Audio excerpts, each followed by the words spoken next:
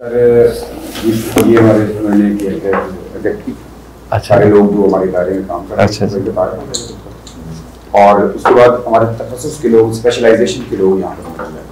अच्छा जी वो वो ये लोग वो होते हैं जो मदारस से पहले एक दफ़ा आठ साल पढ़ चुके होते हैं। अच्छा जी। उनको हम स्पेशलाइजेशन में लेके आते हैं कि अब आपने इस, किस फ़ील्ड में जाना है। सही जी। उसके हवाले से। ये सारे अलहमदिल्ला उसमें हमारे पास बीस लोग यहाँ पर अवेलेबल हैं। ये हमने कोर्स एक साल हमारा कोर्स है अच्छा जी।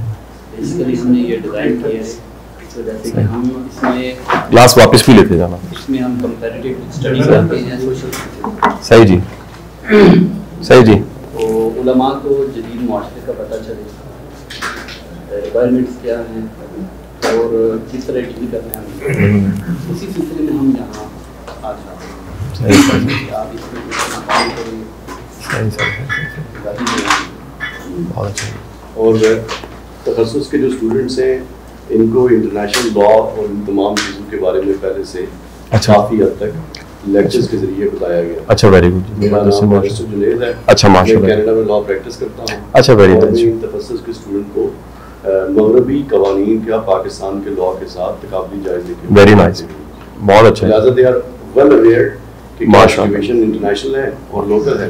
तो फिर आपकी जो टॉक्स होती है पॉजिटिविटी इंटरनेशनल लोकल होती है उस हवाले से। सही, आपसे आपकी चंद बातें सुनेंगे और उसके बाद सवाल जी जी बड़ा अच्छा जी। मैं चाहूँगा कि ये सारा सिलसिला सवालात से शुरू करें। आप। जी। जी मेरी मुलाकात है जी। सही सही। और चूँकि शफीकुर रहमान जाहिद साहब का खास जो मलिका है वो इस हवाले से भी है कि रूहानी तरीके से भी लोग इनके पास आते हैं। और बहुत ज़्यादा लोग इलाज मांझे के हवाले से। माशाल्लाह, माशाल्लाह। जल जिन्नात तो अच्छा अच्छा। हम जो बैरूनी दुनिया में मुकीम जिन निकालते हैं इंस्टॉल भी करते हैं। इंस्टॉल भी करते हैं। इंस्टॉल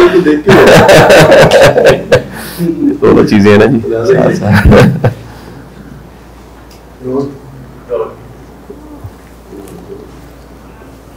जी बोलो सर कोई सवाल से कोई मैं मेरे तो आप सब ज़्यादा इलम वाले हैं मैं तो बड़ा कम इलम रखता हूँ। लीजिए पहला सवाल मुझे इजाज़त हाँ जी। जी जी जी। पहला सवाल मैं करता हूँ ताकि आज से माइक। माइक। माइक के साथ माइक के साथ। क्यों है? सब क्यों है? तो कासम साहब आपकी ज़्यादातर जो वीडियोस और चीज़ें हम देखते हैं उनमें एक समाजी हवाले से देखा जाए तो ज़्यादा पॉजिटिविटी क्रिएट की जाती है या लोगों को आप मोटिवेट करते हैं टू डू समथिंग पॉजिटिव मगर ये देखा गया है कि समाजी हवाले से देखा जाए तो पाकिस्तान की सोसाइटी में बहुत सारे नेगेटिव पहलू हैं जिन पे बात की जानी बहुत ज़रूरी है। अगर वो बात नहीं करेंगे तो वो वहीं की वहीं रुक जाएँगे। जैसे कि मिसाल के तौर पे, जिसके ऊपर मैं आपकी राय भी चाहूँगा कि पाकिस्तान के अंदर जो आइन है, वो इस्लामिक जमहूरिया पाकिस्तान का आइन है। मगर पाकिस्तान के मदारस से फारग तहसील तलबा का ये ख्याल है कि ये पाकिस्तान का आइन शरीयत और कुरान सुन्ना के मुताबिक नहीं है जी जी। इसके ऊपर आमतौर पर डिस्कशन नहीं होती। आपकी इस खास चीज़ के ऊपर क्या राय है और आप क्या ख्याल बहुत बहुत शुक्रिया सर। अच्छा सर गुजारिश ऐसा है कि अ, हमारी बेशुमार ची, चीज़ें बेशुमार काम उसके बारे में हमारी राय इंतहाई सतही होती है। जैसे मिसाल लीजिए कि आप लोग आए हैं तो आपके काम के बारे में मेरी उतनी ही इन्फॉर्मेशन है जितना बिलो साहब ने मुझे बताया है। मैं को बाकायदा तौर पे आपको बहुत ज़्यादा नहीं जानता हूँ तो मेरी राय, मुझे ये राय बनाते हुए कि आप सब क्या कर रहे हैं, अपनी कम इल्मी का इतराफ़ करना चाहिए कि क्योंकि मुझे कम पता है या मेरे इलम में नहीं है या कम्युनिकेशन गैप है तो मेरी राय जो है वो कम इल्मी की बुनियाद पर बिल्कुल इसी तरह अगर ये कहा जाए कि मेरा काम, जिसको आपने इंडिकेट किया कि सिर्फ़ मैं खैर ही बता रहा हूँ कि अच्छा क्या क्या हो रहा है, या उस पर मोटिवेट कर रहा हूँ और मैं गलती की निशानदेही नहीं कर रहा तो ये थोड़ी सी लाइलमी है आपकी। वो बेशुमार समाजी बुराइयाँ वो नाशुक्रापन है, वो वालदेन से रबता ना होना है, वो खैर के काम ना करना है, वो खैर के कामों में मावन और मददगार ना होना है। वो जहेज़ के ख़िलाफ़ तहरीकें हैं, वो समाजी बेशुमार बुराई हैं, जिस पे हमने बे इंतहा काम किया। इवन के किताब पढ़ना, इस पर बेशुमार काम हमने किया। इवन के कुरान पाक को तर्जुमे से पढ़ना, एक तहरीक की शक्ल में, सीरत को तहरीक की शक्ल देना आप वो सब काम निकाल के देखिए, वो आपको वीडियोस की शक्ल में नज़र आएगा। क्योंकि हमने उसको बकायदा देखा नहीं होता। एक सतही ओपिनियन बनाते हैं कि शायद जैसा मोटिवेशन स्पीकर्स होंगे, वो बिल्कुल इसी तरह ही ये भी काम है, ऐसा नहीं है। ये एक मुनज़म तरीके से सारे का सारा काम किया गया। और अल्लाह ने मुझे ये एक बड़ी मेरे पे जो अनायत की, मैं इसे समझता हूँ कि अल्लाह की तोफीक के बगैर ये मुमकिन ना होता। ये खैर के कलमात या इसे राइट के कलमात आप कह हैं, क्योंकि माशरा राइट और लेफ़्ट में डिवाइडेड है। मुझे अल्लाह ने तोफीक दी कि ये सब बातें मैं जजिस को भी कह सका, क्योंकि मुझे उन्हें पढ़ाने का मौका मिला। मैंने चार साल जुडिशल अकेडमी में पढ़ाया जी। और मैं नहीं कहता कि वो हक राइज हो जाता है, हक की बात करनी चाहिए। आपका मुश्किल से मुश्किल प्लेटफॉर्म हो, वहाँ पर आप हक की बात करें।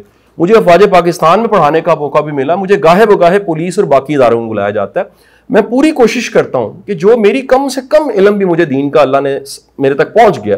मैं उसको किसी न किसी शक्ल में बयान करूँ। जी सर, कोई सवाल आप करना चाहें तो वैसे शाह साहब, हम आपके तमाम कामों को अप्रिशिएट करते हैं। शख्सी शख्सी एतबार से भी और माशाल्लाह इदारा जाती तौर पे भी देखा चीज़ें। तो बरकैफ, हमारा इस इसमें तो कोई सवाल नहीं। हम तो सिर्फ़ अपने तलबा को और स्टूडेंट को ये चीज़ सिखा के लेके आए हैं।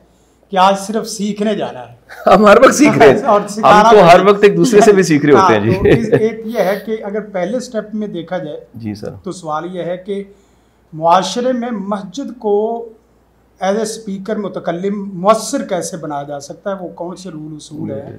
कि मस्जिद बहुत बड़ा किला है और बहुत बड़ा प्लेटफॉर्म है। बिल्कुल सही। हत्या कि ये है कि हम आपके पास हो सकता है कि दो चार महीने में एक दफ़ा आए। ऐसा जी मस्जिद में तो हर जुमे आना है। हर जुमे जाना बिल्कुल सही बात। तो मस्जिद को मुआशरे में मुसर कैसे बनाया जा सकता है? बहुत अच्छा सवाल है जी। मैं इस सवाल को इंतहाई कारामद इसलिए समझूँगा ये आज की हंड्रेड परसेंट ज़रूरत है और एक्यूरेट सवाल है।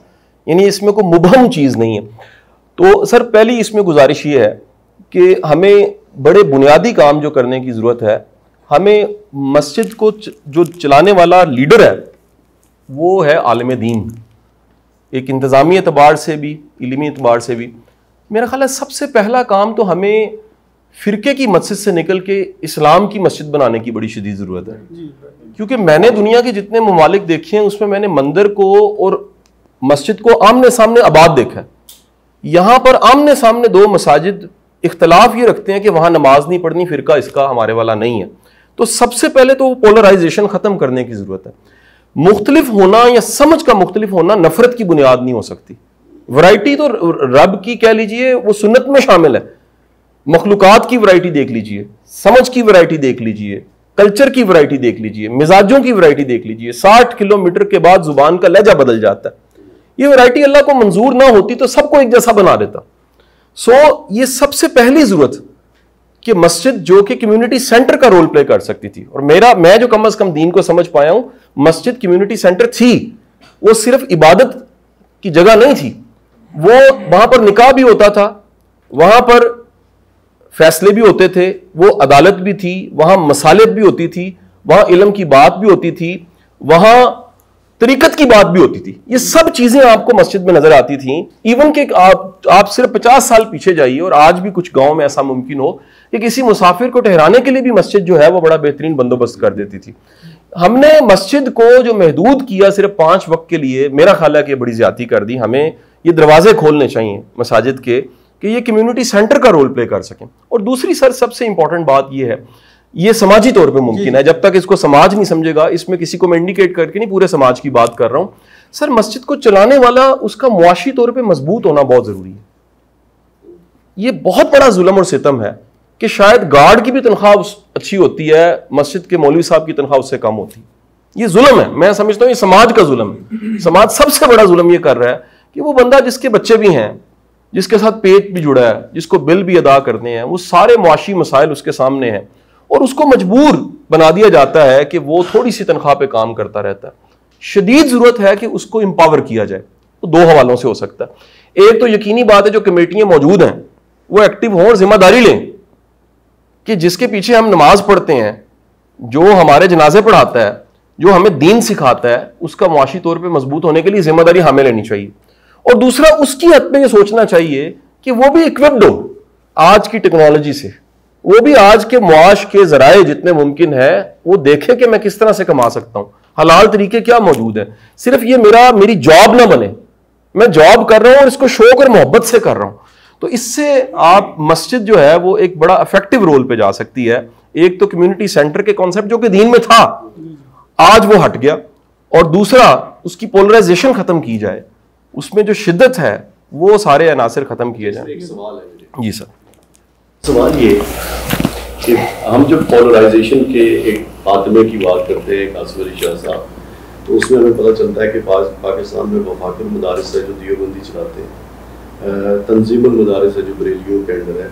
अंजुमन अहल हदीस के अपने मदारस और अपना सिलेबस और करिकुलम होता है। पाकिस्तान में अहल तशी के अपने मदारस है। पाकिस्तान में सात अलग अलग करिकुलम पढ़ाए जाते हैं मदारस के अंदर और उनसे फारग तहसील जो लोग निकलते हैं वो अपने एक ख़ास नुक़ नज़र की किसी मस्जिद में जाके पढ़ाते हैं। यानी कि इनहेरेंट जो प्रॉब्लम है, वो ये नहीं है कि मौलवी ख़ास फ़िरके से ताल्लुक़ रखता है। इनहेरेंट प्रॉब्लम ये है कि हुकूमती सतह के ऊपर एक यूनिफिकेशन ऑफ़ सिलेबस मौजूद नहीं है, जिसकी वजह से ये जो इंतशार और नफाक है, ये ख़त्म नहीं हो सकता।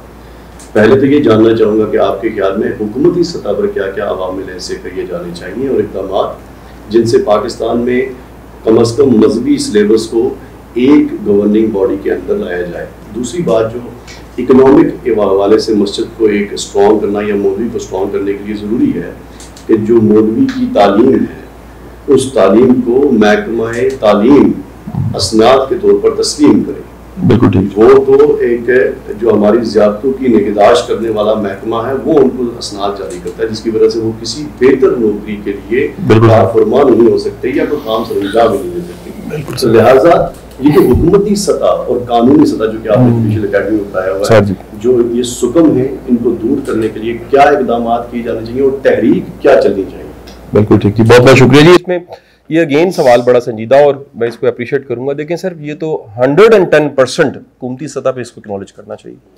और मेरा ख्याल है कि जिस तरह वन सिलेबस की तहरीक पिछले डेढ़ दो साल में चली है पाकिस्तान में और ये बड़ी मुश्किल एक मैं समझता हूँ असाइनमेंट थी क्योंकि इसके सामने जो कम्युनिटी खड़ी थी, वो बिज़नेस कम्युनिटी थी।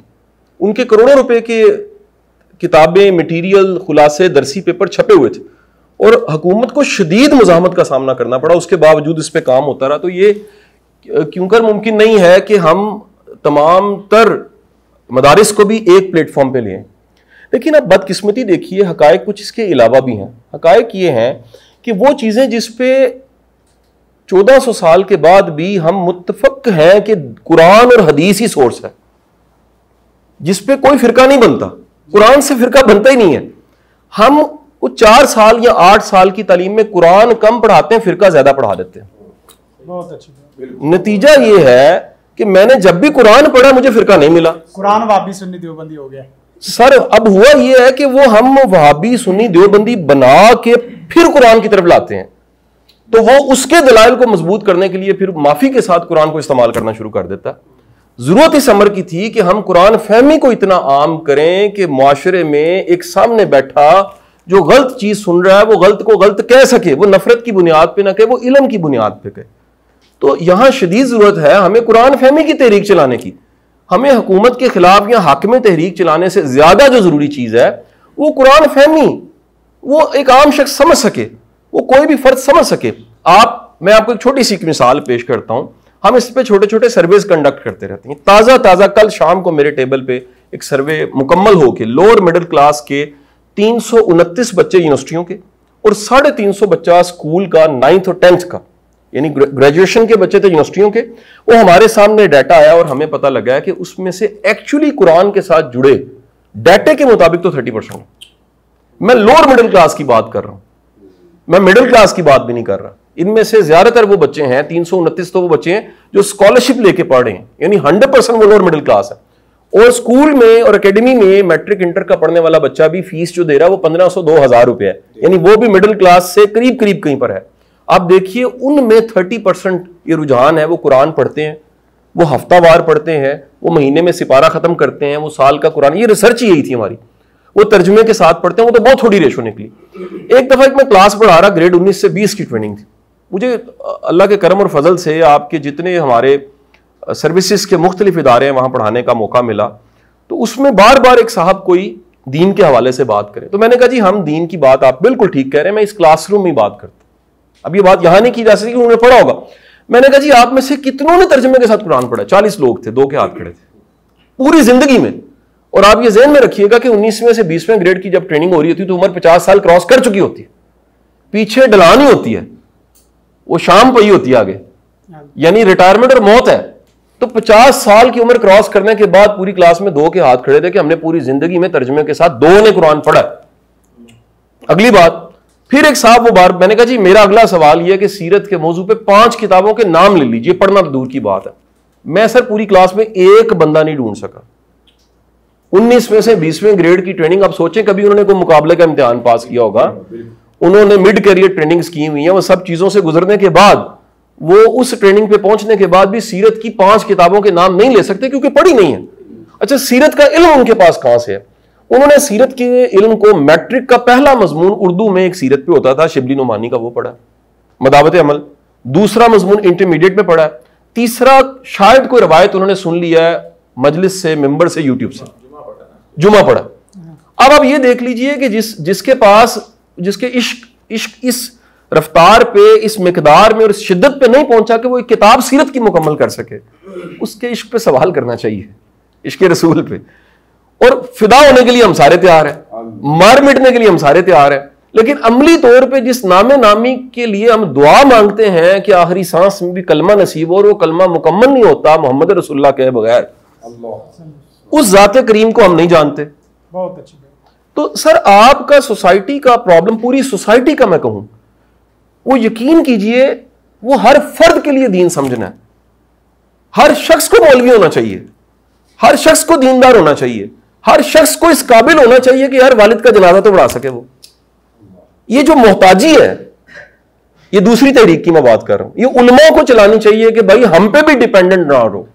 आप खुद करें। आप खुद इस काबिल हो जाओ। देखें लीडर वो होता है जो लीडर को पैदा करता। काबिल इंसान हुआ जो काबिल को पैदा करता। अगर उलमा ये तय कर ले इस माशरे के कि हमने सोसाइटी के इल्म की मकदार इतनी बढ़ा देनी है, ये हमारे मोहताज ना रहें।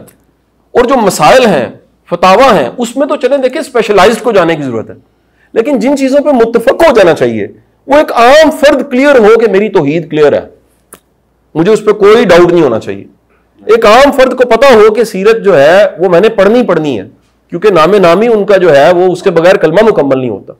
मेरे ज़िंदगी के मसाइल, आम मसाइल, आप आप किसी जहाँ जहाँ से फतवे मिलते हैं, वो कराची की सारी हमारे मदारस हैं, या यहाँ के, कह लीजिए, फतावा देने वाली जगह वहाँ जाके देख लीजिए, लोगों को तलाक के मसाइल भी नहीं पता। मैं ऐसे लोगों को जानता हूँ जो एक जगह से एक फतवा लेकर आते हैं, दूसरी जगह, दूसरा, फिर वो जज ढूंढते हैं, कोई ऐसा रिटायर जो बताए कि बताएँ कि जी तलाक हुई है कि नहीं हुई? गुसल के मसाइल आप कभी आप एमएससी की और एमए की क्लास में जरा पता करके देख लीजिए लोगों को नहीं पता। तो सर यहाँ यहाँ ज़रूरत जो है वो तबलीग करके हमें फिरका बनाने की ज़रूरत नहीं है दीन समझाने की और सिखाने की ज़रूरत है। तो पहली तहरीक तो कुरान फहमी की होनी चाहिए और दूसरी तहरीक ये होनी चाहिए कि सीरत पढ़ाई जाए। सीरत आम हो सर। सीरत का हवाला आम हो। और तीसरी सबसे बड़ी जो खूबसूरत बात है कि आज का ये सबसे अहम बात सारी मैं बड़े अदब के साथ ये गुजारिश पेश करने लगा हूँ कि उलमा को मॉडर्न लोगों को अपने से दूर नहीं करना चाहिए। सर, ये माना जाए कि ये दीन सिर्फ़ मदारिस के बच्चे लैया, कमालिया टोबा टेक सिंह, लाला मूसे के बच्चे की सिर्फ़ ज़िम्मेदारी नहीं है। ये मॉडर्न आज के इदारों में पढ़ने वालों को भी दीन सीखना चाहिए, उसके बगैर आप माशरा नहीं बदल सकते। यानी दीन सिर्फ़ मारों का हो जाए। और जिनके पास दीन नहीं है, वो इख्तियार में और इकतदार में बैठे हों, समाज कभी ठीक नहीं होगा। सोसाइटी की गुड लक ही होती है कि लीड करने वाला भी दीनदार हो, उसमें भी तकवा पाया जाता हो। उसमें भी खौफ खुदा पाया जाता हो। आप आप देखें जी, दीन दीन आपको सिखाता ही है कि आपकी कामयाबी की तारीफ़ दुनियादारी है ही नहीं। कामयाबी की तारीफ़ यह है कि जो जन्म की आग से बच गया, जन्नत में दाखिल हो गया, मुकम्मल कामयाब हो गया। अगर पूरा समाज सारे उलमा की काविश से और साढ़े पाँच लाख मसाजिद की कोशिश से इस तारीफ़ कामयाबी तक पहुँच जाए तो देखिए कुर्बानी देना कितना आसान हो गया, दरगुजर करना कितना आसान हो गया, माफ़ी मांगना और माफ़ी देना कितना आसान हो गया, एसार और कुर्बानी कितनी आसान होगी, शुक्रिया अदा करना कितना, हकदार को हक देना कितना आसान हो गया। अगर यह पता है कि मेरी असल कामयाबी इस ज़िंदगी से कहीं बाद पड़ी हुई तो ये मेरा ख्याल है कि जब तक हम इन बड़े बुनियादी और क्लियर मसाइल को सामने रख के नहीं लेके चलते। हम आगे नहीं जा सकते। अच्छा सर, मेरा आप इंटरनेशनल एजुकेशन को भी देखते हैं तो मेरा क्वेश्चन थोड़ा सा लिंक्ड है इंटरनेशनल एजुकेशन से, कि जैसे आपने बताया कि मदरसा, मस्जिद और मंदिर आमने सामने है तो ये एक यकीन है सोसाइटी का करेक्टर है। अब हमारे पाकिस्तान में क्या हो रहा है कि फॉरेन एजुकेशन को बहुत ज़्यादा प्रमोट किया जा रहा है। इंटरनेशनल सिलेबस सिलेबस 11 से ज़्यादा है जैसे अमेरिकन सिलेबस है जो अंडर अमेरिकन एम्बेसी काम कर रहा है। इस तरह ब्रिटिश के सिलेबस है जिसमें ऑक्सफोर्ड केम्ब्रिज सिलेबस है। सिलेबस है नॉर्वेजियन सिलेबस है स्वीडिश सिलेबस है इस तरह के ग्यारह बारह एक सिलेबस हैं जो इंटरनेशनली पाकिस्तान में प्रमोट कर रहे हैं। अब मेरा क्वेश्चन ये है कि जब आप फॉरेन एजुकेशन को अपने लोअर लेवल पे जो आपकी बेसिक है जहाँ से स्टार्ट हो रही है वहाँ पे एजुकेट कर रहे हैं बच्चों को जहाँ उलमा का कोई रोल नहीं है क्योंकि इस्लामी तो सब्जेक्ट है। उनके पास जब आप प्रमोट ही वो एजुकेशन को कर रहे हैं हम्म। और उसको हाईएस्ट लेवल पे लेके जा रहे हैं तो फिर कैसे है कि आप अपनी सोसाइटी को अपने कल्चर को प्रमोट करेंगे जो हम चाहते हैं कि रिलीजियस हो बिल्कुल जी एक तो ये है दूसरा ये कि जो सिलेबस वो पढ़ा रहे हैं हमारी कंट्री में कोई ऐसा इदारा नहीं है जो उसको वेट करे कि भी ये सिलेबस पढ़ाना चाहिए नहीं पढ़ाना चाहिए। हम्म। इस सिलेबस का करिकुलम होना क्या चाहिए? इसके स्टैंडर्ड्स क्या होना चाहिए? तो कि बिल्कुल वो नहीं है मामला। तो अच्छा सर ये वैसे ये सवाल आपका बहुत अच्छा है लेकिन ये एड्रेस हो चुका है। आप पिछले दो तीन चार सालों की कोशिश देखिए हमारा जो बोर्ड्स हैं बुक्स के बोर्ड्स हैं और एजुकेशन के बोर्ड्स हैं उन्होंने डिफ़ाइन कर दिया हुआ है। और उससे पहले बड़े बड़े बड़े सुखम थे बड़े बड़े मसाइल थे। वो दीन के हवाले से भी थे, हमारे दो कौमी नज़रिए के हवाले से भी थे, हमारी पाकिस्तान की तारीख के हवाले से भी थे, हमारे कौमी प्रॉब्लम भी थे। जो किताबों की शक्ल में प्रिंट हो के जाते चले जा रहे थे, लेकिन अब लाजिम हो गया कि उसका एनओसी लेना पड़ता है। और वो एनओसी में जो चीज़ चेक की जाती है, वो सबसे इंपॉर्टेंट चीज़ ये है कि कोई ऐसा दीन का मामला, कोई मुबहम चीज़ उसमें शामिल ना हो, पहली चीज़। और कौमी सलामती को सामने रखते हुए पूरी तारीख पाकिस्तान को सामने रखते हुए वो डाटा उसमें शामिल किया जाए। इस वक्त कम अज कम ये सारे चीज़ें एड्रेस करनी शुरू कर दी गई। इसको टाइम लग सकता है, लेकिन जो मेरी इतला है कम अज कम जो मैं कम अज कम इस पे पंजाब टेक्स्ट बुक बोर्ड है, या सब इदारों पे मेरा जो विज़िट अभी तक मैं देख चुका हूँ और इनके डीजी से बात कर चुका हूँ, वो मेरी इतला यही है कि चीज़ें एड्रेस स्ट्रेट करने लग पड़ी है। क्योंकि काम बहुत बड़ा है, लेकिन खुलारा बहुत ज़्यादा है। इसमें हम सब के अपने अपने रोल हैं। ये हम ये जेन में रख लें कि ये सारा कुछ हम नहीं कर सकते। इसमें मेरा ख्याल है कि हमारा दर्द दिल्ली कबूल हो जाए तो बड़ी बात है। एक बड़ी पेंटिंग है जिसमें एक डॉट हम है। तो उसमें यकीनी बात है स्टेट को एक्शन भी लेना चाहिए लेकिन जो मेरी इतला में है बेशुमार चीज़ों के एनओसी और ये हर्डल बने हुए बड़े इदारों के लिए हर्डल है। क्योंकि पिछली गवर्नमेंट्स में मेरी इतला में ये भी था कि बेशुमार फंडिंग ऐसी जगहों से भी थी जिनको क्वेश्चन ही नहीं कभी किया गया था। तो अब वो तय कर लिया कि वो ये गलती नहीं हो सकती। अच्छा, इसमें एक सवाल इम्पोर्टेंट जी जी। तनवीर साहब ने कि पाकिस्तान के अंदर जो मुख्तलिफ़ सिलेबस इंटरनेशनल पढ़ाए जाते हैं उसकी मौजूदगी में हमारा जो अपना निज़ाम तालीम है जो हमारा अपना इंटरमीडिएट सेकेंडरी बोर्ड एजुकेशन है उसके अंदर असलाहत नहीं साथ लाई गई जिसकी वजह से वो डिके हो रहा है। हम्म। यानी कि इंटरनेशनल एजुकेशन पाकिस्तान में प्रमोट हुई एन ओ सी भी आ गई हमने उसमें नज़रिया पाकिस्तान और कुछ इस्लामी चीज़ों के हवाले से बुनियादी कर ली। मगर उसने पाकिस्तान के अपने तालीमी निज़ाम को मफलूज कर दिया। आप जिस जगह पर बैठे हैं मिलियन सब्सक्राइबर के साथ आपका ये कहना ही बहुत ज़्यादा असरअंदाज सकता है या असर रख सकता है समाज के ऊपर कि पाकिस्तान के या तो निज़ाम तालीम को किसी तरीके से एमलगमेट किया जाए इंटरनेशनल के साथ? बिल्कुल सही या पाकिस्तान के अपने निज़ाम तालीम को प्रमोट किया जाए? एग्ज़ाम्पल मैं दूँगा इस बात दलील को समझाने के लिए कि यूरोप के जितने ममालिक थे वहाँ से आमदो रफ्त करके दुनिया की इंटरनेशनल गुड्स अमेरिका और कनाडा की मार्केट में जाती है। उन्होंने कहा अच्छा रास्ता हमारा इस्तेमाल करते हैं तो लिहाजा हम कोटा रखेंगे। हम्म। जो हम बनाते हैं वो आप ना बेचें यहाँ से हमने वो भी नहीं किया।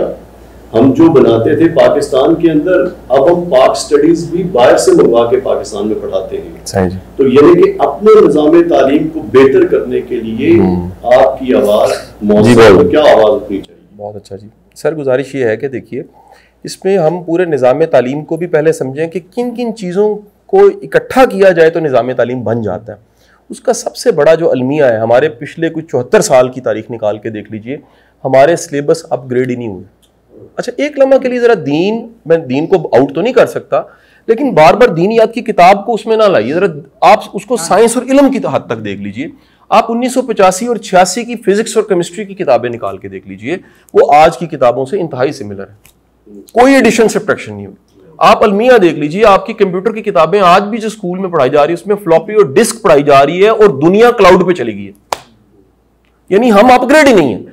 आप में से जिसने मैट्रिक 1990 की दहाई में कहीं किया है, वो याद कर ले, जो लैब्स के प्रैक्टिकल चीज़ें तब आपके जमाने में थी, हमारे बड़ों के जमाने में थी, आज भी वही है। हम हाइड्रोजन ही बना रहे हैं और बनी बनाई प्रैक्टिकल की कॉपियों से ही चलाई जा रहे हैं काम सारे का सारा। सो सितम यह है कि हमारा पहली चीज़, एजुकेशन सिस्टम का एक हिस्सा सिलेबस होता। है उस सिलेबस में इल्म और फिर नजरियात, जो बका के लिए किसी कौम के लिए ज़रूरी है, उन दोनों का होना बहुत ज़रूरी है। अपग्रेडेड नॉलेज और नजरियात जो कि मुल्क की सालमियत और दीनदारी को कायम रख सकें। दूसरा, आपकी तालीम के निज़ाम का हिस्सा एग्जामिनेशन सिस्टम आता। बदकिस्मती देखिए, ये एग्जामिनेशन सिस्टम जो हमारे पास मौजूद है, ये अपग्रेड होने की बजाय, ये डिके का एक अमल इसमें शुरू हो गया। और उस डिके ने क्या किया? नंबर खत्म हो गए। 1100 में से 1100 आने लग पड़े। आप में से अगेन जिसका भी मैट्रिक आप ढूंढिए जाके नाइन्टीज में कहीं पर है, उसके उर्दू में सौ में से सत्तर नंबर बड़े नंबर थे। और उसको उर्दू आती भी थी उसके बाद। वो उर्दू लिखने के काबिल ज़रूर होता था। आज उर्दू में सौ में से सौ नंबर आने लग पड़े हैं, लेकिन वो एक सफ़ा उर्दू का लिखने का वो काबिल वो नहीं है। सो हमारा एग्जामिनेशन सिस्टम जो कि सिर्फ़ रट्टे को चेक करता है, ऐसी याददाश्त को चेक करता है जो सिर्फ़ चंद माह के लिए होती है, और वो चंद माह के बाद, उसके बाद खत्म हो जाती है। और उस रट्टे के बाद, मिसाल लीजिए कि उस रट्टे में सच की बरकत पे मजमून, जिसमें से 20 में से 20 नंबर आए हैं, वो इंश्योर नहीं कर रहा कि उसको सच की बरकत ज़िंदगी में शामिल करने की तोफीक मिल जाए। वो याद करेगा, नंबर ले लेगा, लेकिन सच्चा नहीं होगा, क्योंकि उसके पास कोई एक्टिविटी कोई नहीं है उसके लिए। यानी हमारे पास केस स्टडी मेथड ही नहीं है। हमारी इंडस्ट्री अकेडमिया का गैप इतना बड़ा है कि जैसे जैसे तालीम बढ़ती जाती है, जहालत की मकदार भी माफ़ी के साथ बढ़ती चली जाती है। तीसरी चीज़ जो बड़ी इंपॉर्टेंट है एग्जामिनेशन ये एजुकेशन सिस्टम में, वो आपका अतालीक और पढ़ाने वाला है। दुख के साथ कहूँगा, वक्त गुजरने के साथ साथ हमारे बड़े बूढ़ों के टाइम पे ये प्राइड था कोई टीचर है, को मास्टर है, को उस्ताद है। जुल्म और सितम ये हुआ कि ये एक पेशा और शोभा बन गया, जिसकी कोई ग्रेस नहीं है, जिसकी कोई ग्रेस नहीं है। दो तीन सौ साल में मौलवी का वर्ड आप जरा सोचिएगा ना, एक तारीख के बड़े नाम जलालुद्दीन रूमी के साथ भी जुड़ता है। वो अदब के साथ जुड़ता है। जितना कमज़ोर वर्ड ये मौलवी बना और जितना कमज़ोर वर्ड मास्टर बना है वो आपको उसकी मिसाल नहीं मिलेगी। आप आप देखिए कितना हम डैमेज हो गए कि वो भी एक एक सोसाइटी का एक ऐसा पुर्जा है जिसमें इफ़ेक्टिव नहीं है मौसर नहीं है। सो नतीजा ये कि हमें ये तीनों चीज़ों पे काम करने की ज़रूरत है। एक अपग्रेडेड नॉलेज जो आज दुनिया को जिसकी ज़रूरत है उसमें नजरियात बहुत ज़रूरी है। एग्जामिनेशन सिस्टम और तीसरा हमारा एक मॉडर्न आज के ज़माने के मुताबिक पढ़ाने वाला, उसकी बड़ी शदी ज़रूरत है। मैं सिर्फ़ इसमें, सिर्फ़ एक वैल्यू एड एक मैं एक सेकंड ही करूँगा। ये जो हमने बात की ना कि हम मॉडर्न एजुकेशन को बाहर से ले रहे हैं तो उसकी वजह से कोई अपग्रेडेशन आएगी। तो जो मेरी इसके ऊपर थोड़ी सी रिसर्च थी तो मुझे पता चला कि पाकिस्तान में जी पढ़ाया जा रहा है, बड़ा शोर और बड़े बलबले के साथ। और इंटरेस्टिंगली ये ब्रिटिश क्वालिफिकेशन है जो कि ब्रिटिश यूके में ऑब्सलीट हो चुकी है वो आईजीएस पे चले गए। अब इंटरेस्टिंगली वो चीज़ जो उन्होंने अपने माशरे से ख़त्म कर दी वो आपको दे दी और हम उसको फुली अडॉप्ट करके पूरा वो जो है ना लिबादा उड़ने की भी फ़िक्र में लगे हुए हैं। जो कि हमें कोई भी मतलब इदारा हमारा है ही नहीं ऐसा। कि जो उसको रोके आप भी सवाल कर दो तो दो लोग सवाल एक सवाल तो मेरे देर में जो गर्ज कर रहा था अभी शाह साहब ने जवाब दे दिया है। कि एजुकेशन के अदारे बहुत आम हो चुके हैं। हाँ। और तालीम भी आम हो चुकी है। इसके बावजूद हमें इस्लामी अकदार नज़र नहीं आती। सही जी का अदब नज़र नहीं आता। सही जी पहले आपने भी सुना कि गाँव या एक मोहल्ले में एक मियाँ साहब बैठे थे। सारे लोग उसकी हया करते थे सही जी अदब करते थे। तो इसकी वजह क्या है? और आपने कुछ मुख्तर दे दिया और तफसीलन दे दीजिएगा। एक सवाल ये था कि इससे पहले आपने कुरान सुन्नत की बात की हाँ। कि कुरान सुन्नत पर आ जाए तो फ़र्काबादी हमें नहीं मिलेगी। हाँ। हज़रत मोहम्मद जिना से जब सवाल किया गया कि पाकिस्तान का लाद क्या होगा तो उन्होंने कहा कि हमारा लाद साढ़े चौदह सौ साल पहले ही तयशुदा है। बिल्कुल ठीक और पाकिस्तान की उन्नीस सौ तिहत्तर की जो इस्लामी दफात है वो भी ज़िक्र आपके सामने। इसके बावजूद आपने ये भी फरमाया कि जुडिशरी के सामने भी आपने खिताब किए और ऐसे ही बहुत अदारों में तो आप क्या समझते कि अभी तक पाकिस्तान में इस्लामी नफाज क्यों नहीं? हम्म, बहुत शुक्रिया जी। गुजारिश सर ये है कि पिछले चौहत्तर साल से मसाजिद में जुमे के खुतबे हो रहे हैं जो आप भी सुन रहे हैं और आप दे भी रहे हैं। तो मेरा सवाल है उस खुतबे में तो सारी दुनिया पूरी कौम ही आके बैठती है कौम क्यों नहीं बदली? तो अगर हम ये कहें कि सिर्फ़ खुतबात से ही माशरे बदलते हैं तो ये भी मेरा ख्याल है हमारी लाइलमी है। हमें मानना पड़ेगा एक निज़ाम है जिसको इंश्योर किए बगैर समाज बदला नहीं जा सकता। और उस निज़ाम में सबसे ज़रूरी चीज़ जो है वो इंसाफ है, वो जस्टिस है। हम लाख किसी माशरे की बुराई बयान कर लें और उसे अपना दुश्मन माशरा करार दे दें, लेकिन उसी माशरे में, उन्नीस सौ छियानवे में एक स्कूल टीचर ये डिसाइड करता है कि मैंने इस मुल्क का सदर बनना है, जिसे अमेरिका कहते हैं। और वो उन्नीस सौ छियानवे से सफ़र करते करते आखिरकार एक दो दहाइयों के बाद वो दुनिया की ताकतवर तरीन एक स्टेट्स का दो बार प्रेसिडेंट बन जाता है और जिस दिन वो सदर बनता है उस दिन सदर बनने के बाद तीस करोड़ की आवाम होती है अमेरिका की उनको यकीन आ जाता है कि इस सिस्टम में इतनी ताकत है कि इसमें अगर उन्नीस में एक स्कूल टीचर डिसाइड करे तो वो दुनिया की सबसे ताकतवर रियासत का सदर बन सकता है। प्रॉब्लम उन्नीस सौ छियानवे से उन्नीस में स्कूल टीचर था वो। स्कूल टीचर डिसाइड कर रहा है और उसके सिर्फ़ दो दहाइयों, डेढ़ दहाई के बाद वो अमेरिका का प्रेसिडेंट बन है। सिस्टम की ताकत है। हमारा प्रॉब्लम ये है कि यहाँ हर एक को पता है कि मेरे साथ अगर ना इंसाफी हो जाती है तो मैं यहीं कसून मार दूँ, थाने ने जवाब नहीं देना। उसको ये डर है कि मैं अगर इस अपने केस को अदालत में लेके चला गया तो मेरी डेटें और पेशियाँ मुझे इतनी भूतनी पड़ेंगी कि मुझे इंसाफ नहीं मिलेगा। उसको पता है कि अगर मैं मेरिट पे भी आ गया हूँ तो वो सिफारिश ढूंढेगा। यानी सिस्टम के पैरल एक ऐसा सिस्टम बन चुका है जिसको माफिया कह लीजिए, जिसको करप्ट सिस्टम कह लीजिए, और वो करप्ट सिस्टम इतना ताकतवर बन चुका है। ये इसको समझाने के लिए किसी एक ऐसे साहब जो कहीं अमेरिका के भी से सेटल हो गए वहाँ बिज़नेस करने लग पड़े, और दो उनकी गवर्नमेंट्स में वो कंपेन का हिस्सा भी रहे हेनरी क्लिंटन की और उसके बाद बाइडन की। उन्होंने मुझे बड़ा आसान समझा उनका दुनिया का हर माशरा बीस फ़ीसद गलत लोग होते हैं उसमें। अब वो गलत करप्ट भी होते हैं क्रिमिनल भी होते हैं, खराब भी होते हैं, नफसियाती मरीज़ भी होते हैं, बीस फ़ीसद हर जगह खराब है। आगे सिस्टम की ताकत होती है वो फ़िल्टर करके उनको रोक लेता है और ऊपर ठीक लोग आ जाते हैं। और सिस्टम की खराबी होती है कि वो बीस फ़ीसद ऊपर आ जाते हैं और फिर ये माशरा बन जाता है। तो आप बीस फ़ीसद तो हर जगह क्लास में भी बीस फ़ीसद खराब होंगे। आप मोहल्ले में रहते हैं तो आपके दस घरों में से एक घर ऐसा ज़रूर होगा जिससे सारी तंग होंगे। खानदान है कि वो दस खानदान है। भाई हैं तो पाँच छह भाइयों में एक मुश्किल ज़रूर होगा। ये नहीं हो सकता। सो so, कमाल ये होता है कि निज़ाम में इतनी ताकत हो कि वो निज़ाम खराब बंदे को ऊपर ना आने दे। क्योंकि जैसे को ऊपर आता है तो याद रखिए उससे पूरा माशरा खराब बिगाड़ का शिकार हो जाता है। अब ये जो इतमाद नहीं है हम सब में नहीं है माफ़ी के साथ। हमारा कोई कसूर नहीं है दुख है ये हमारा दर्द है कि सत्तर चौहत्तर सालों में तमाम तर कवानीन होने के बावजूद वो कवानीन ताकतवर के लिए कुछ और है माड़े के लिए कुछ और है। और माड़े का कतन इस, इस माशरे और माड़ा ज़्यादा है।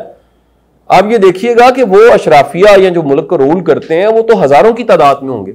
लेकिन जो बाईस करोड़ है ये हम हैं। इस बाईस करोड़ के पास वो यकीन और वो एतमाद नहीं है। क्यों नहीं है? वो निज़ाम नहीं है। वो सिस्टम नहीं है। और वो हर शोबे में इंप्रूव होने की ज़रूरत है। ये मैं आपको बता दूँ कि हम जब सिस्टम की बात करते हैं वो कहते हैं अदालत में कहते अदालत एक हिस्सा है उसका। थाना उसका एक हिस्सा है स्कूल उसका हिस्सा है हेल्थ उसका हिस्सा है। और सितम ये हुआ वक्त गुजरने के साथ साथ हमें उस सिस्टम पे यकीन ना होने की वजह से पता लग गया कि इसका हल पैसा है। कैसे? सिक्योरिटी आपको स्टेट को देनी चाहिए। जब वो नहीं इंश्योर कर पाती तो आप जाती फिर गार्ड रख लेते हैं। हेल्थ आपको स्टेट को देनी चाहिए। आप लाहौर शहर में पंजाब का वो शहर जिससे पूरा पंजाब चलता है, उस शहर में मौजूद हैं। आप जाके देख लीजिए, गंगाराम को, मियो हॉस्पिटल को चिल्ड्रन हॉस्पिटल को और जना हॉस्पिटल को आपको एक एक बेड पे चार चार लोग मिलेंगे।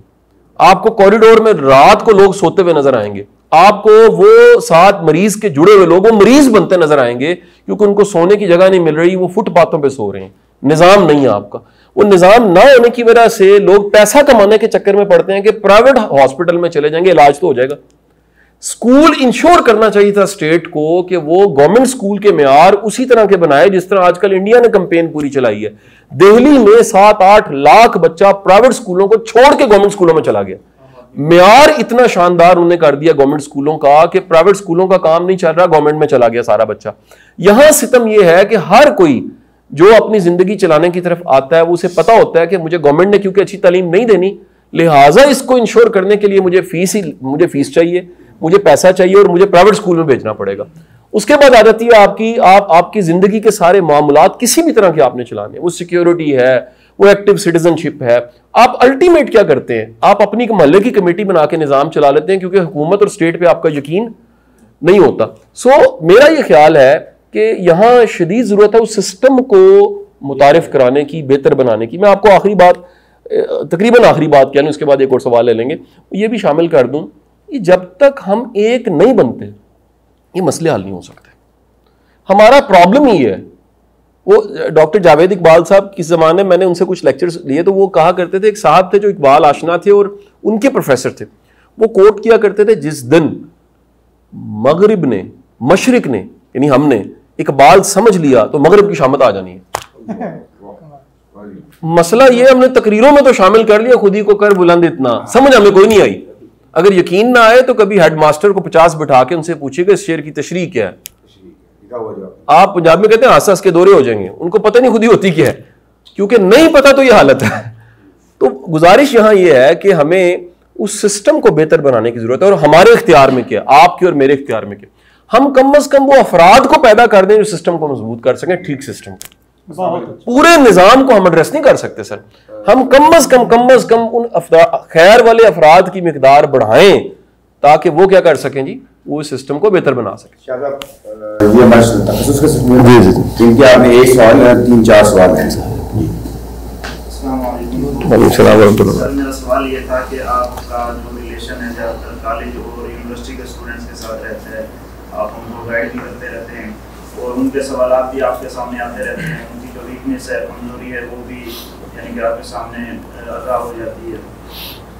तो मेरा सवाल ये था कि उन स्टूडेंट्स की कौन सी ऐसी कमज़ोरी और वीकनेस है कि उस पहलू से अगर हम उनको शरीयत की अवेयरनेस दें तो वो ज़्यादा मौसर होगी और एक्सेप्ट जो यानी कि ज़्यादा वो इसको एक्सेप्ट करेंगे और उस पर अमल करेंगे। बहुत अच्छा जी। वो किसी ज़माने में पाकिस्तान नहीं बना था तो एक सिख की दुकान बड़ी चलती थी। तो वो सामने मुसलमानों की दुकानें थी बड़े परेशान थे। सिख की दुकान जो है वो बहुत चलती है। और थे वो सारे सुन्नी मुसलमान। तो वो सब के सब जाके मस्जिद के मौलवी साहब से बात करने लग पड़े कि हजूर कुछ कीजिए ऐसा कि उसकी दुकान ना चले हमारी चले। अब चलने की वजह यह थी कि वो ईमानदार बड़ा था था सिख। तो मौलवी साहब ने मसले का हल अगले ही जुमे वाले दिन निकाल दिया। उन्होंने उसी दिन जुमे के खुतबे में कह दिया कि जो गंडा सिंह है वो वाबी हो गया।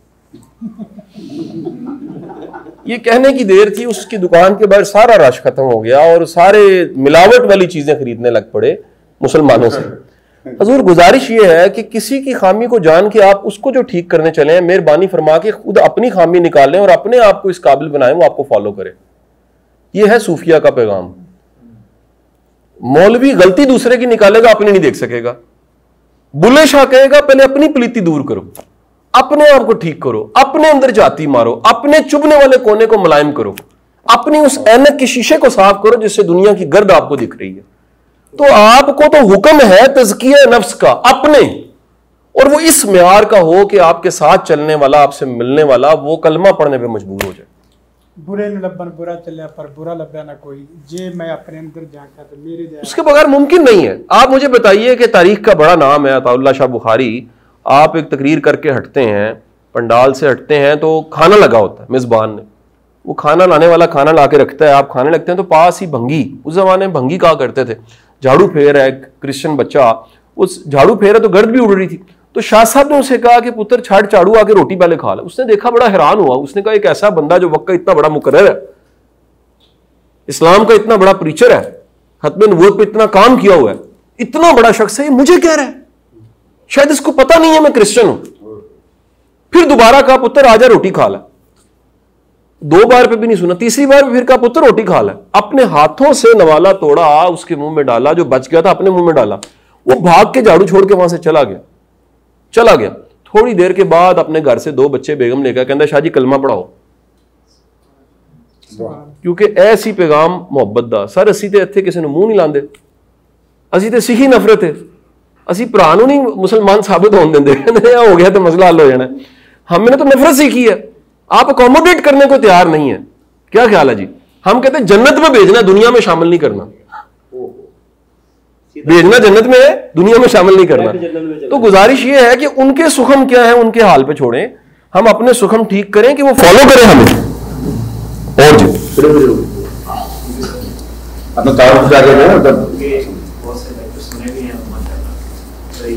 इंस्पायरिंग लेक्चर होते हैं सुनने में सुनने में भी दफ़ा होता है हम लोग के अंदर भी काफ़ी सब सर मेरे दो क्वेश्चन हैं। सबसे पहला क्वेश्चन ये है कि आपने कोई खूबसूरत बात की है?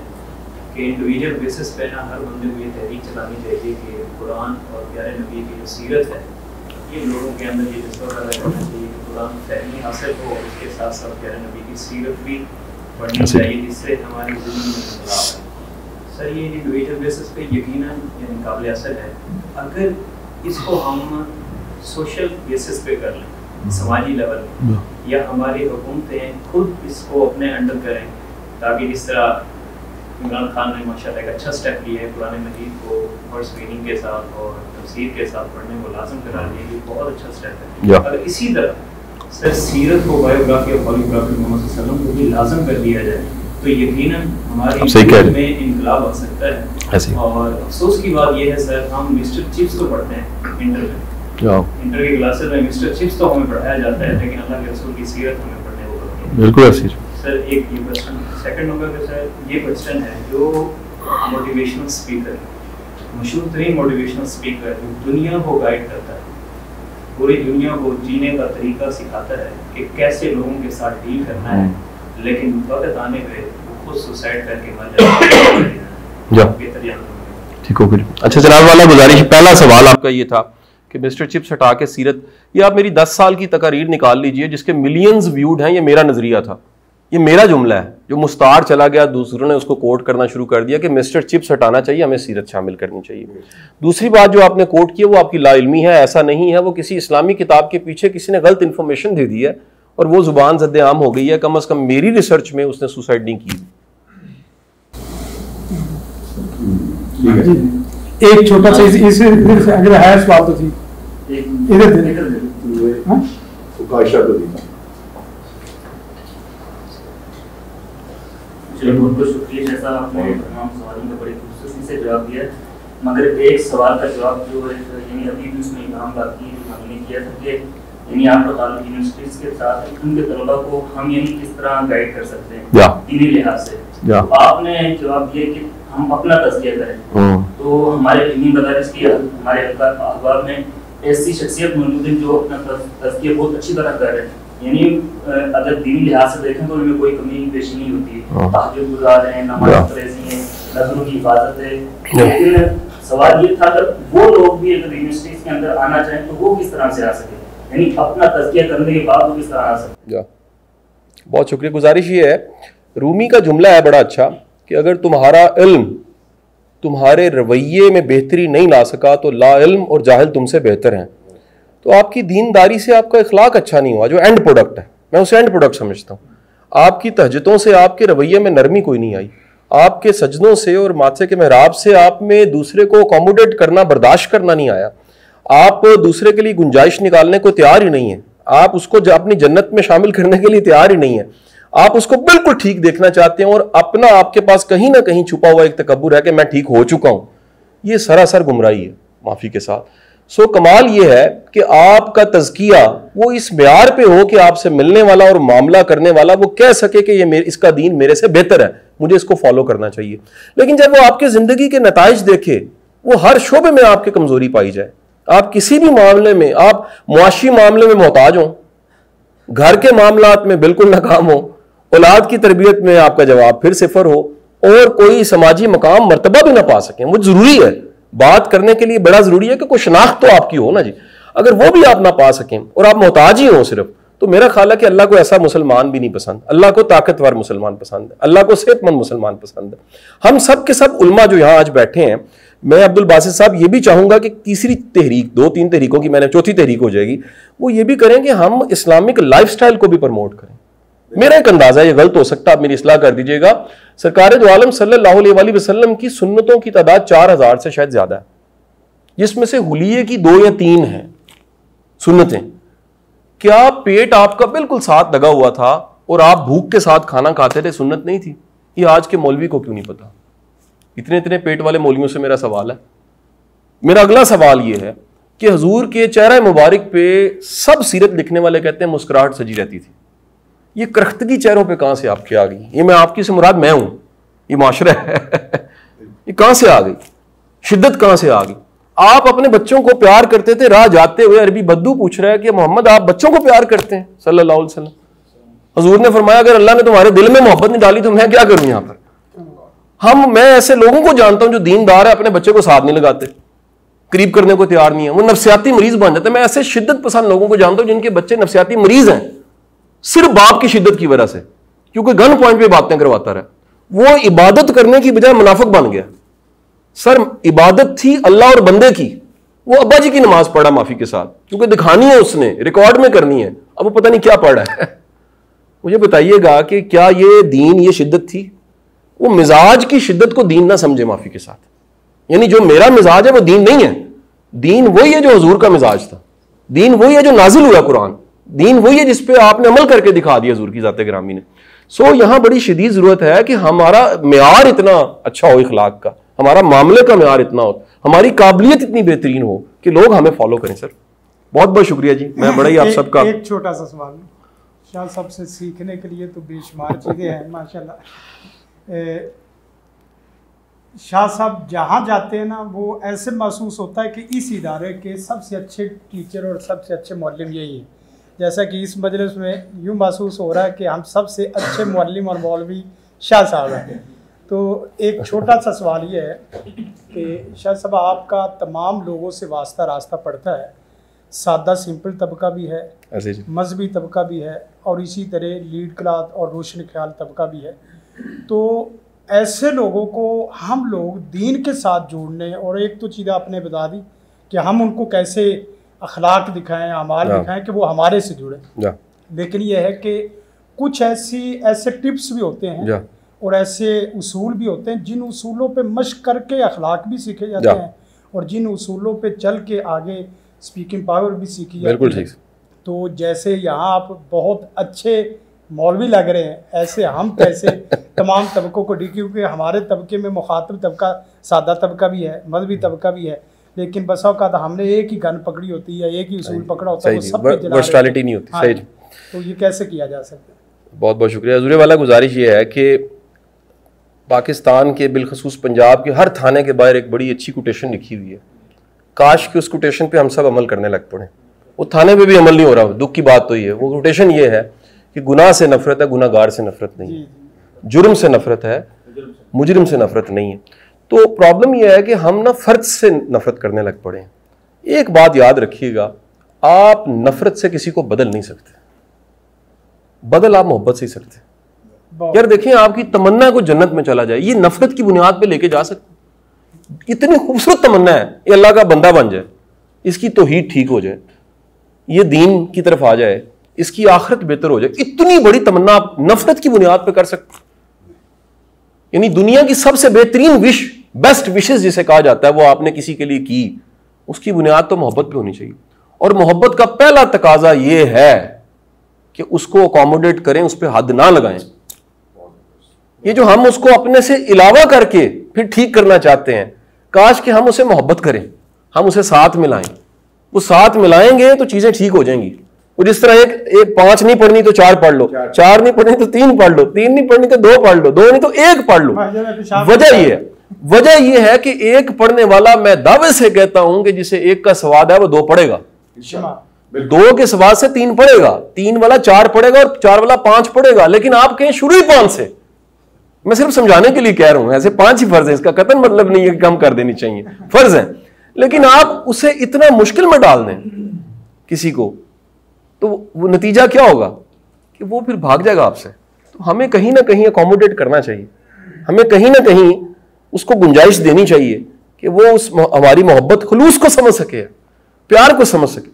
और मैं आप सबसे गुजारिश ये भी करूँगा जहाँ हमने इतने अलूम और इतने कोर्सेज इतनी किताबें इतने उलमा कराम इतने तालीक से पढ़ा होता है हमें काश के अच्छा रवैया और इखलाक भी पढ़ाया जाए।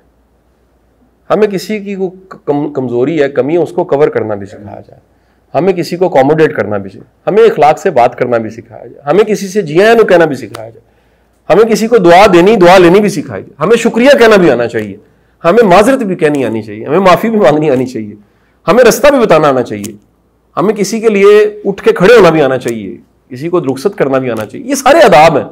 यकीन कीजिएगा मैं ये समझ पाया हूँ। इलम बाद का दर्जा है। इखलाक पहला दर्जा है। पहले वास्ता पड़ता। है यकीन कीजिए डॉक्टर की दवाई बाद में को खाता है। पहले डॉक्टर के रवैये से अंदाज़ा लगाता है खानी है कि नहीं खानी। दुनिया की बेहतरीन आयत आप पढ़ के किसी को सिखा रहे हैं, सिखानी है। आपकी नीयत यह कि मैंने इसको ये दीन सिखाना है, लेकिन आपका रवैया ठीक नहीं है, वो दूर हो जाएगा।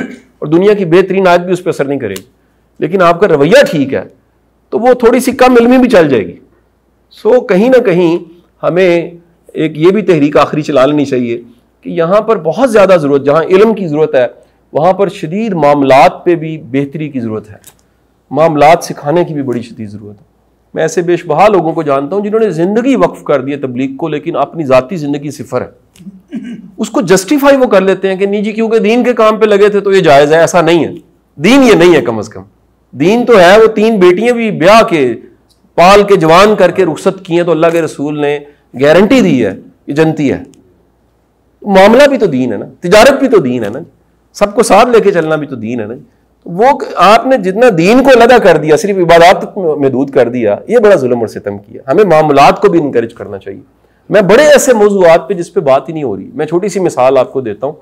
क्या विरासत में हमारी बेटी का जो हक है, कम अज कम तरतालीस साल की ज़िंदगी में मैंने एक जुमे का खुतबा इस मौजू पर नहीं सुना।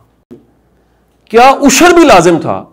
मैं गाँव से मेरा ताल्लुक है मैंने अपनी शौरी ज़िंदगी में कभी जुमे का खुतबा इस पर नहीं सुना कि आप जमींदार लोग हैं, उशर दें, माशरत बेहतर हो जाएगी। माशरा और माशरे की इकॉनमी बेहतर हो जाएगी। जक़ात पे हमने ज़ोर लगाया, वो उशर बड़ा ज़रूरी था। कहाँ चला गया उशर हमारा? इस मौजू पे बात ही नहीं हो रही। ये दरगुजर, माफ़ी, ये मामला, ये सब मौजूद है। सिर्फ़ चिल्ला लगा लेना तो मौजू नहीं है। सैयद कासम अली शाह साहब को तो सब जानते हैं। आज हम दो चार जुमलों में कासम अली फाउंडेशन को भी जानना चाहते हैं बढ़िया फाउंडेशन कि उसमें क्या एक्टिविटी है मकासद क्या है? वाला बहुत बहुत शुक्रिया। गुजारिश ये है कि फाउंडेशन का वन लाइनर अगर मैं कहूँ तो ये है कि कोई भी खैर का काम कर रहा है फाउंडेशन या तो वो डायरेक्ट करने लग पड़ती है सपोर्ट करने लग पड़ती है। सिंपल सा रूल है जी फाउंडेशन का। फाउंडेशन के दस विंग्स हैं सुलह का विंग है उसमें हमारे पास कोर्ट के पैरल सुलह के केसेस हैं। हम सुलह को फ़ी सिबिल्ला करवाते हैं। सुलह हमारे चौदह सौ केस हमारे पास है। और इसको जस्टिस अनवार साहब चीफ जस्टिस रिटायर हुए थे 2018 में। मैं हाईकोर्ट में पढ़ा रहा था तो उन्होंने ज्वाइन कर ली फाउंडेशन वो पिछले तीन साल से बगैर किसी मुआवजे के और ये पाकिस्तान की हिस्ट्री में पहले जज थे जिन्होंने अपनी जुडिशरी खत्म होने के बाद प्रैक्टिस नहीं की वकील के तौर पे। हालाँकि बड़े बड़े महँगे केस मिलते हैं। उन्होंने अपनी बाकी की ज़िंदगी को वक्त फल्ला कर दिया कि मैं अल्लाह के लिए बाकी की ज़िंदगी गुजारता हूँ और वो फ्री ऑफ़ कॉस्ट सुलह के केसेस हमारे पास यहाँ पर मियाँ बीवी के चल रहे होते हैं। इसके साथ हमारे पास 400 बच्चे हैं पब्लिक यूनिवर्सिटीज़ का, सात यूनिवर्सिटीज़ के बच्चे हैं। उनमें से एक बड़ी मेजोरिटी जो है, वो उनके वालिद नहीं है। फाउंडेशन ने उनकी स्कॉलरशिप को इंश्योर किया और ये स्कॉलरशिप नहीं है, साथ ग्रूमिंग भी है। ये वो ग्रूमिंग है जो यूनिवर्सिटी भी नहीं करवा रही। अच्छा कहीं स्किल्स मिल रही हैं तो ईमानियात नहीं है। जहाँ ईमानियात है, वहाँ स्किल्स कोई नहीं है। तो हमने कम्बिनेशन बनाया है कि वो स्किल्स और ईमानियात का कम्बिनेशन यानी अच्छा मुसलमान सिर्फ़ इबादत से नहीं, हुनर से भी है। फन से भी आप उसको बेहतर फन भी आना चाहिए अपना उसको मॉडर्न जराए से तबलीग करना भी आना चाहिए। तीसरा शोबा हमारा रिसर्च का है जो कि हमारे शोबे में भी है और वो कंटेंट का पूरा सेक्शन है। सोशल मीडिया की यहाँ टीम है। आठ यूट्यूब चैनल यहाँ से चाह रहे हैं बारह फेसबुक पेज चल रहे हैं। हमारे पचास से ज़्यादा एम ओ यूज़ हैं जेवीज़ हैं। बेशुमार इदारों के साथ हम मावन या मददगार की हैसियत से कोई ना कोई काम करें उसमें गवर्नमेंट के इदारे भी हैं उसमें प्राइवेट इदारे भी हैं। और मदारस के साथ, क्योंकि मेरा बड़ा कलबी रुझान है, मैं बड़ा खुश नसीब अपने आप को समझता हूँ कि ये दीन वाले जो कि मैं समझता हूँ इल्म में मेरे से बेहतर हैं फैम में मेरे से बेहतर हैं, इनकी दीन पे मुझसे बहुत ज़्यादा मेहनत है, इन्होंने पूरी पूरी ज़िंदगी वक्फी ये मुझे अपने साथ समझते हैं तो मैं समझता हूँ मैं बख्शा जाऊँगा, को बचत का रास्ता मेरा निकल आएगा। तो इसके साथ साथ मैं कभी कभी ये भी कहता हूँ, अगर कोई कोई दीनदार बंदा मेरे से नाराज़ी हो जाए और वो कह दे कि नहीं, आप हमसे अलावा हैं तो मैं कहता हूँ जी, देखें, किसी को पहचानने का सबसे आसान असलूब यह है कि उसके दुश्मन को देख लें। तो देख लें कि सबसे ज़्यादा मुझ पे तनकीद कौन कर रहा है? वो वो तबका कर रहा है जो दीन को अच्छा नहीं समझता। लिहाजा, मुझे थुतकारे हुए को अपने साथ ही समझे। तो मुझे वो सारे के सारे जो फंडेड है बाहर से, और वो फंडेड है, मैं वो नाम नहीं लेता, इस तरह उनका भी इश्तेहार चल जाएगा।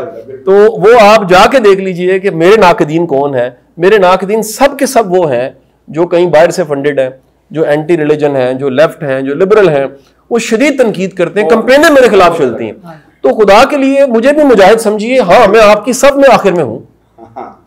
तो मेरा तो ये ईमान है और यकीन है कि खैर खैर की खैर के मिशन का मेरा एक सवाल ये भी था जो आपने अभी बताया कि आप इतना काम करते हैं आपके रास्ते में मुश्किलात क्या है? खैर के मिशन का हजूर खैर के मिशन का मेरा ईमान है कि खैर के मिशन का लांगरी बख्शा जाता है। तो मैं वो लांगरी हूँ जो आखिर में है। तो मुझे ये मान लीजिए कि इस तबके में वो किसी ने कहा जी हम नहीं मानते हुलियतन नहीं मानते। मैंने कहा कुछ जसूस भी होते हैं जो हुलिया बदल के काम कर रहे होते हैं। तो जसूस को ही मान लीजिए। आपका बहुत बहुत शुक्रिया जी बड़ी बड़ी मेहरबानी।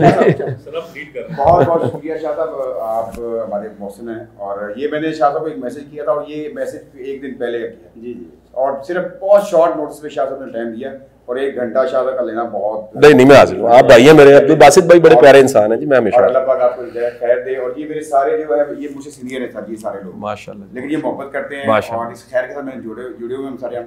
और लिगमा इंटरनेशनल का जो काम है बहुत कमाल का काम। और इंशाल्लाह आपको कोई मैं वहाँ पर दावत भी दूँगा जी, ज़रूर, इंशाल्लाह। लाइफ। अल्लाह पाक आपका ये काम नहीं, नहीं, बढ़िया रहे। बढ़िया रहे जनाब, बढ़िया रहे। आपके साथ बासित भाई चाय का इंतज़ाम है। इस्लाम मुकम्मल दो चीज़ों से होता है अच्छी बात और लंगर।